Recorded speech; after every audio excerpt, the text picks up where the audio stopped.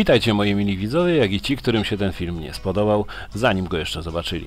Dziś chciałbym pokazać moje akwarium 375 litrów po 3 miesiącach od momentu zalania zbiornika i zalania się właściciela.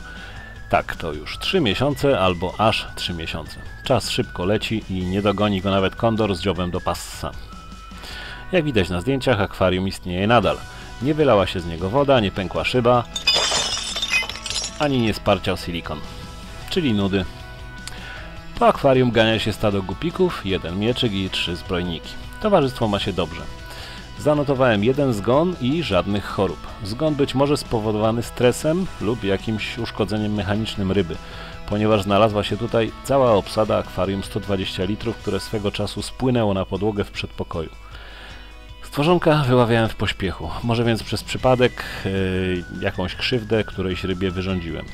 Cóż, pęknięcie akwarium jest jak wojna, a z wojną jest jak z wódką, muszą być straty w ludziach i sprzęcie.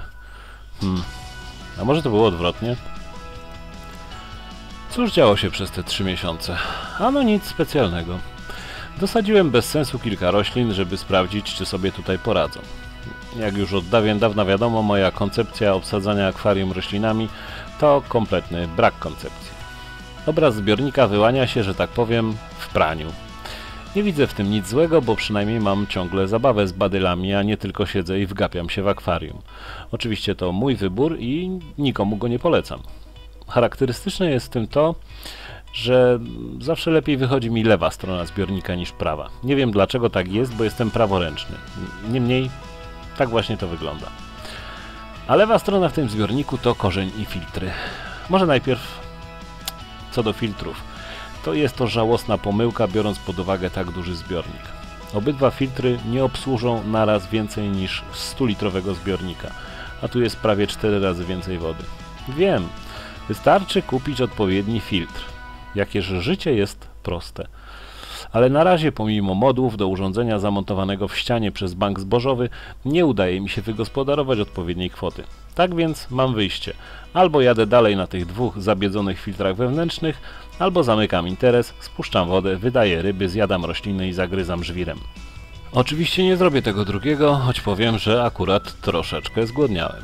Zresztą te dwa filtry są trochę potwierdzeniem słów Diany Wallstatt, że w żwirze osadza się dostateczna ilość bakterii nitryfikacyjnych, by móc z filtracji zrezygnować. Nie jestem ortodoksyjnym fanatykiem metod Diany, więc lubię jak coś dużego filtruje mój zbiornik. I najlepiej jak to jest filtr.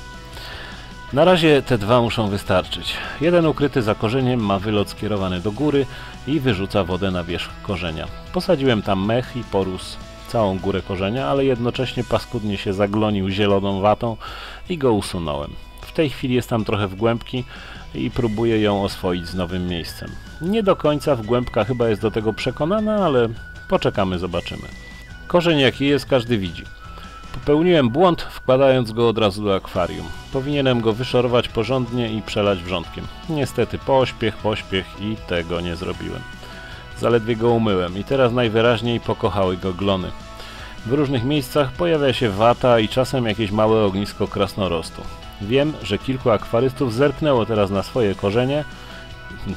Nie, to źle zabrzmiało. Na drewno w zbiorniku, a kilku na półeczkę z przygotowanym napalmem do niszczenia glonów. Moje podejście do glonów bardzo odbiega od standardu.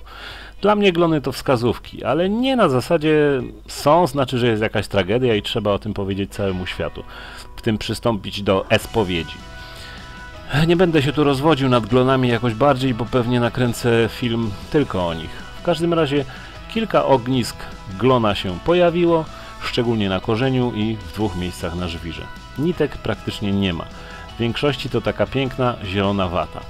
No i tak jak mówiłem, na korzeniu kilka pędzli krasnorostu. Są to są, przyszły to i sobie pójdą. Nigdy nie podchodzę do tego tematu z paniką w oczach. Wiem, gdzie popełniłem błędy spowodowane pośpiechem przy stawianiu tego zbiornika, jak i przymusowym zapakowaniem do niego wszystkich roślin i zwierzaków z pękniętej 120. To nawet nie powinno być traktowane przeze mnie jako błędy, a raczej jako wymuszone działanie, o którym wiedziałem, że może przynieść glony. Ale co tam glony, prawie ich nie widać. Natomiast widać, że na podłożu z ziemi ogrodowej z lignitem rośliny rosną bardzo bujnie. W zasadzie ze wszystkich roślin, które posadziłem, mam problem może z trzema gatunkami, z czego z jednym zawsze miałem problemy, z drugim wiem dlaczego mam problemy, a trzeci jest dla mnie zupełnie nowym nabytkiem. Nawet nazw nie wymieniam, bo aż tak szczegółowo nie lubię omawiać swoich porażek. Natomiast cała reszta, łącznie z mchami na kokosach, prezentuje się całkiem nieźle.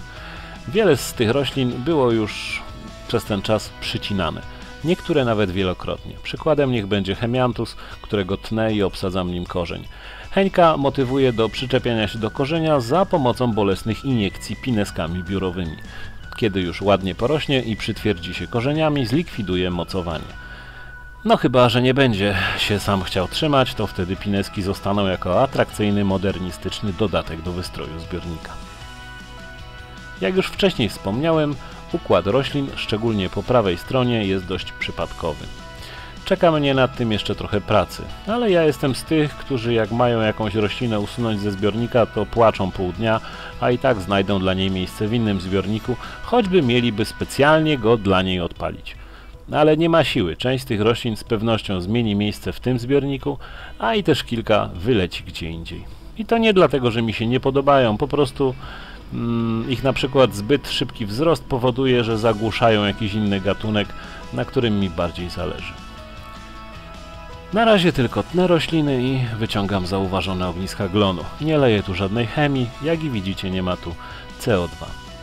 W niedalekiej przyszłości zamierzam tu wprowadzić jeszcze kilka ryb, że tak powiem większych gabarytowo. Nie mówię na razie co i jak, bo plan się dopiero wykuwa w bólach. Stado gupików, które tu pływa jest dość liczne, ale są to odmiany tych małych gupików, które w małym zbiorniku prezentują się zupełnie inaczej. W tym po prostu giną w bezmiarze wody. Ile naprawdę ich jest, widzę tylko przy karmieniu.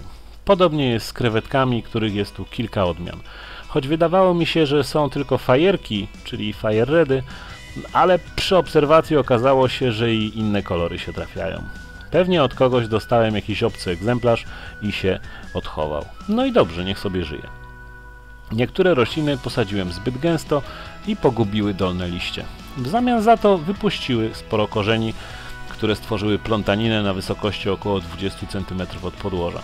Tak zrobiła alternantera i tak samo postąpiła hygrofila korymboza. Cóż, pewnie to za jakiś czas poprawię. Na razie czekam, żeby się dobrze ukorzeniły i zaczęły porządnie rosnąć. Być może efekt wizualny z tym związany nie jest nadzwyczajny, ale nigdy nie jestem za pośpiechem. Powoli, aż do osiągnięcia odpowiedniego i zaplanowanego efektu. No i to by było chyba tyle, co mogłem na dziś powiedzieć o tym zbiorniku. No może jeszcze jedno.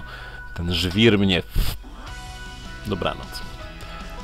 Jeśli film się spodobał, zapraszam do subskrybowania kanału, aby nie opuścić kolejnych holi łódzkich produkcji. Zapraszam też na facebookowy fanpage. No i oczywiście zapraszam na patronite.pl każdego dobrego człowieka, który uważa, że może wspomóc rozwój kanału swoim drobnym datkiem. Wszystkie linki znajdziecie pod filmem. Można komentować, a nawet wstawiać łapki w te i we w te. Taka wolność.